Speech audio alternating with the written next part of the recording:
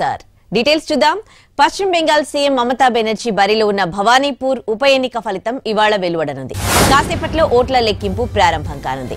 మొత్తం ఇరవై ఒక్క రౌండ్లలో ఓట్ల లెక్కింపు జరగనుంది. కౌంటింగ్ జరిగే ప్రదేశంలో ఎలాంటి అవాంఛనీయ ఘటనలు చోటు చేసుకోకుండా భారీ ఎత్తున పారామిలిటరీ బలగాలను మోహరించారు. ఇరవై నాలుగు కంపెనీల పారామిలిటరీ బలగాలను మోహరించారు. ఈ ఉప ఎన్నికలో దీది గెలిస్తేనే ముఖ్యమంత్రి పదవిని కాపాడుకోగలుగుతారు. దీంతో ఉప ఎన్నిక ఫలితంపై సర్వత్రా ఉత్కంఠ నెలకొంది. ఎటకేలకు కేంద్రం దిగొచ్చింది. హర్యానా పంజాబ్లలో ధాన్యం సేకరణ ఇవాల్టి నుంచే ప్రారంభం కానుంది. ఈ ఏడాది ధాన్యం సేకరణ ఆలస్యం అవుతూ ఉందంటూ రెండు రోజుల క్రితం కేంద్రం ప్రకటించడంతో రెండు రాష్ట్రాల రైతులు నిరసనలకు దిగారు. వేలాది మంది రైతులు హర్యానా సీఎం మనోహర్ లాల్ ఖట్టర్ ఇంటి ముందు ఆందోళనకు దిగారు. దీంతో ధాన్యం కొనుగోలుపై రైతుల ఆందోళనతో కేంద్రం దిగొచ్చింది.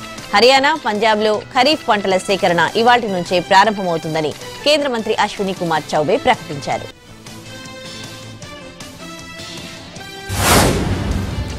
ప్రజలకు మెరుగైన పారిశుద్ధ్య సేవలు అందించడమే లక్ష్యంగా రూపొందించిన క్లీన్ ఆంధ్రప్రదేశ్ జగనన్న స్వచ్ఛ సంకల్పం కార్యక్రమాన్ని ప్రారంభించారు CM Jagan. Vijayawada Benz circle వద్ద లాంఛనంగా ప్రారంభించారు. మొత్తం నాలుగు వేల తొంభై ఏడు చెత్త వాహనాలను జెండా ఊపి ప్రారంభించారు. రాష్ట్ర ప్రజలు ఆరోగ్యకరమైన పరిసరాల్లో ఆహ్లాదంగా గడపాలన్నదే కార్యక్రమం ప్రధాన లక్ష్యమన్నారు జగన్. బీజేపీ రాష్ట్ర అధ్యక్షుడు బండి సంజయ్ చేపట్టిన ప్రజా సంగ్రామ యాత్ర తొలి విడత ముగిసింది. ముగింపు కార్యక్రమాన్ని హుస్నాబాద్లో నిర్వహించారు. కేంద్ర మంత్రి స్మృతి ఇరానీ హాజరయ్యారు. రాష్ట్రంలో రాబోయేది బీజేపీ ప్రభుత్వమేనన్నారు బండి సంజయ్. బీజేపీ తరపున ఎవరు సీఎం అయినా వారిని ఒప్పించి తొలి సంతకం విద్యా వైద్యంపై చేయిస్తామన్నారు.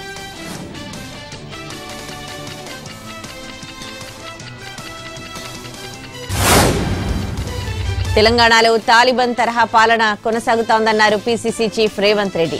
ఇంత నిర్బంధపు పాలనేంటని మండిపడ్డారు. రాష్ట్ర ప్రజలు చైతన్యవంతులని ఇలాంటి గడి పాలనను సాగనివ్వరమన్నారాయన ఎల్బీ నగర్ పోరాట స్ఫూర్తితో మలి అడుగు పాలమూరు జిల్లా ఉంటుందన్నారు. నిరుద్యోగ జంగ్ సైరన్ సందర్భంగా కొందరు పోలీసుల తీరుపైన ఆగ్రహం వ్యక్తం చేశారు రేవంత్. హుజురాబాద్ అభ్యర్థిని ప్రకటించింది కాంగ్రెస్ ఎన్ఎస్యుఐ రాష్ట్ర అధ్యక్షుడు బల్మూరి వెంకట్ను హుజురాబాద్ ఉప ఎన్నిక బరిలోకి దింపుతోంది.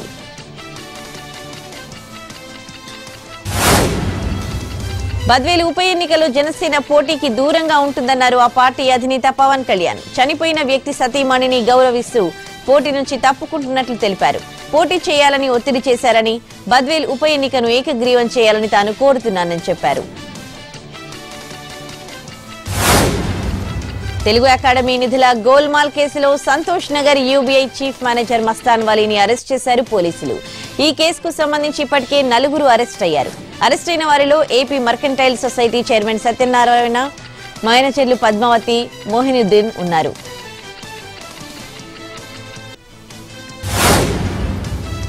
గాంధీ జయంతి రోజు కూడా మందుబాబులు ఏమాత్రం తగ్గలేదు. మాదాపూర్ పోలీసులు నిర్వహించిన డ్రంక్ అండ్ డ్రైవ్ తనిఖీల్లో పలువురు పట్టుబడ్డారు.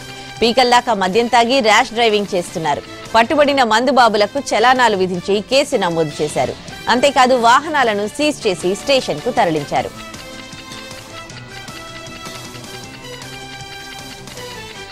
శ్రీశైలం మహాక్షేత్రంలో దసరా దేవి శరన్నవరాత్రులు వైభవంగా జరగనున్నాయి. ఈ నెల ఏడవ తేదీ నుంచి పదిహేను వరకు ఉత్సవాలు జరగనున్నాయి. ఈ నెల ఏడున స్వామి అమ్మవార్ల యాగశాల ప్రవేశంతో దసరా మహోత్సవాలు శాస్త్రోక్తంగా వైభవంగా ప్రారంభం కానున్నాయి. అయితే కరోనాను దృష్టిలో ఉంచుకుని స్వామి అమ్మవార్ల గ్రామోత్సవం రద్దు చేశారు ఆలయ నిర్వాహకులు. పద్నాలుగవ తేదీన స్వామి అమ్మవార్లకు ప్రభుత్వం తరపున పట్టు వస్త్రాలు సమర్పించనున్నారు. భక్తులకు ఎలాంటి అసౌకర్యాలు కలగకుండా జాగ్రత్తలు తీసుకున్నట్టు ఆలయ ఈవో లవన్న తెలిపారు. ఈ నెల ఏడు నుంచి పదిహేను వరకు ఇంద్రకీలాద్రిపై దసరా శరన్నవరాత్రి మహోత్సవాలు జరగనున్నాయి. రోజుకు పదివేల మంది భక్తులకు ఆన్లైన్ స్లాట్ ద్వారా దుర్గమ్మ దర్శనానికి అనుమతించనున్నారు. నాలుగు వేల మందికి ఉచిత దర్శనం మూడు వేల మందికి మూడు వందల రూపాయల టికెట్ దర్శనం మరో మూడు వందల మందికి వంద రూపాయల దర్శనం కేటాయించారని ఆలయ ఈవో తెలిపారు. మూలా నక్షత్రం రోజున పదివేల మంది భక్తులను పెంచేదానిపై నిర్ణయిస్తామన్నారు. తొలి రోజు స్నపనాభిషేకం తర్వాత భక్తులను అమ్మవారి దర్శనానికి అనుమతిస్తామని చెప్పారు.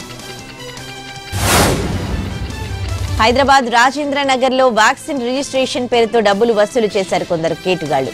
బుద్వేల్ పశు వైద్య కళాశాలలో ఏర్పాటు చేసిన సెంటర్లో వ్యాక్సిన్ కోసం వచ్చే వారి నుండి డబ్బులు దండుకున్నారు ప్రైవేట్ వ్యక్తులు. ఒకవేళ ఇవ్వకుంటే సర్టిఫికేట్ రాదంటూ హెచ్చరిస్తూ అమాయకుల నుండి భారీగా వసూలు చేశారు. యువతను టార్గెట్ చేస్తూ ఏపీలో క్రికెట్ బెట్టింగ్లకు పాల్పడుతున్న ముగ్గురు బుకీలను కడప జిల్లా ప్రొద్దుటూరు పోలీసులు పట్టుకున్నారు. రాజమండ్రి వైజాగ్ విజయవాడలతో పాటు అనేక ప్రాంతాల్లో బెట్టింగ్ కార్యకలాపాలు నిర్వహిస్తున్నట్టు తమ విచారణలో తేలిందని పోలీసులు తెలిపారు. ప్రొద్దుటూరుకు చెందిన నిసార్ లారా అహ్మద్ ఖురేషీలను అరెస్ట్ చేశారు.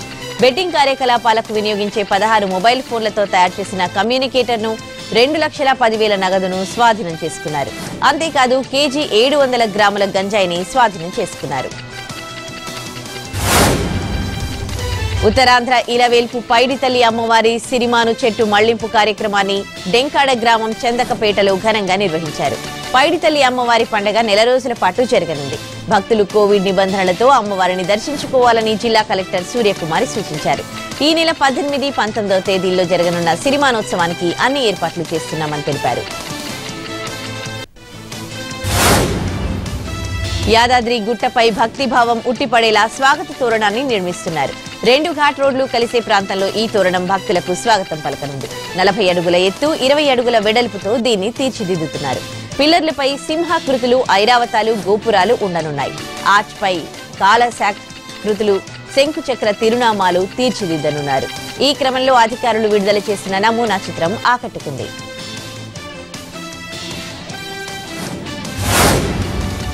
శ్రీకాకుళం జిల్లా పలాసలో అక్రమ మద్యం విక్రయాలపై కొరడా జిలిపించారు పోలీసులు. మెరుపు దాడులు నిర్వహించి భారీగా మద్యం సీసాలు స్వాధీనం చేసుకున్నారు. ముగ్గురు వ్యక్తులను అదుపులోకి తీసుకుని కేసులు నమోదు చేశారు. సీజ్ చేసిన మద్యం బాటిళ్ళు ఒడిశా రాష్ట్రానికి చెందినవిగా గుర్తించారు. నెల్లూరు జిల్లా వేనాడులో దావుదుషా దర్గా హుండీ లెక్కింపు వివాదంగా మారింది. వైసీపీ నేతలు అధికార దుర్వినియోగానికి పాల్పడుతున్నారని ఆరోపించారు గ్రామస్తులు. దర్గాలో ఉన్న హుండీ తాళాలు పగలగొట్టి నగదు తీసుకెళ్తూ ఉండగా సర్పంచ్ గ్రామస్తులు కలిసి వైసీపీ నేతలను అడ్డుకున్నారు. దీంతో ఇరు వర్గాల మధ్య వాగ్వాదం జరిగింది.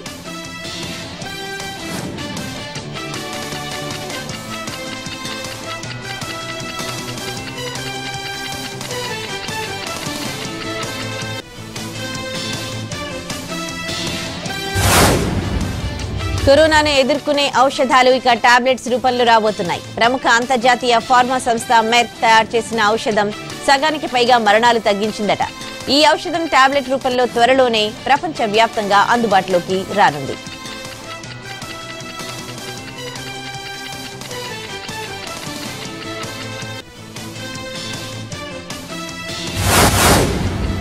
కేరళలో కోవిడ్ ఆంక్షలను సడలించింది ప్రభుత్వం. అక్టోబర్ ఇరవై ఐదు నుంచి థియేటర్లు ఇండోర్ స్టేడియంలు తెరుచుకునేందుకు అనుమతిచ్చింది. యాభై శాతం సీటింగ్ సామర్థ్యంతో థియేటర్లు ఓపెన్ చేసుకోవడానికి అనుమతిచ్చారు. సిబ్బంది ఖచ్చితంగా రెండు డోసుల వ్యాక్సిన్ వేసుకోవాలని చెప్పింది కేరళ ప్రభుత్వం. తనకు పదవి ఉన్నా లేకపోయినా రాహుల్ గాంధీ ప్రియాంక గాంధీ పక్షాన నిలబడతానన్నారు నవజోత్ సిద్ధు. వ్యతిరేక శక్తులు తనను కిందకు తోయాలని చూసిన అంతకు మించిన ఆశావాదంతో పంజాబ్లో ప్రతి పౌరుడి గెలుపు కోసం కృషి చేస్తానన్నారు సిధు అభివృద్ధి కోసం అధికారాన్ని సమర్థవంతంగా ఉపయోగిస్తున్నారని కేంద్ర మంత్రి నితిన్ గడ్కరీని ప్రశంసించారు ఎన్సీపీ చీఫ్ శరద్ పవార్. శంకుస్థాపన చేసిన కొద్ది రోజుల్లోనే పనులు ప్రారంభమయ్యేలా ఆయన కృషి చేస్తున్నారన్నారు. మహారాష్ట్రలోని అహ్మద్ నగర్లో జరిగిన ఓ కార్యక్రమంలో ఇద్దరు నేతలు పాల్గొన్నారు. కాంగ్రెస్ పార్టీకి బలమైన అధినేత కావాలని అభిప్రాయపడ్డారు శివసేన ఎంపీ సంజయ్ రావు నాయకత్వం లేని పార్టీ పట్ల ప్రజల్లో అయోమయం ఉంటుందని పార్టీలో కూడా అసంతృప్తులు పెరుగుతాయన్నారు. కాంగ్రెస్లో త్వరలోనే ఈ సమస్యను అధిగమిస్తుందని ఆశాభావం వ్యక్తం చేశారు.